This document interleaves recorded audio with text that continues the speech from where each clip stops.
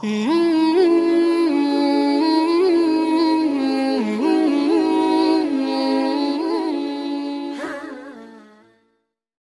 कराम हज़रत मौलाना हबीबुररहमान साहब सानी लुधियानवी अलैह दुनिया से तशरीफ़ ले गए।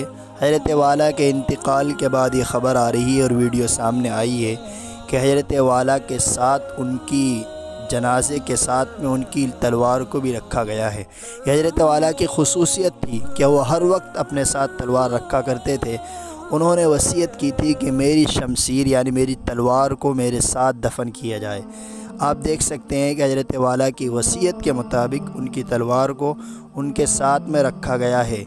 अब ये इसकी तहकीक और बाद में होगी कराम बताएँगे कि ऐसा क्यों किया गया। हज़रत वाला ने ऐसी नसीहत क्यों की थी?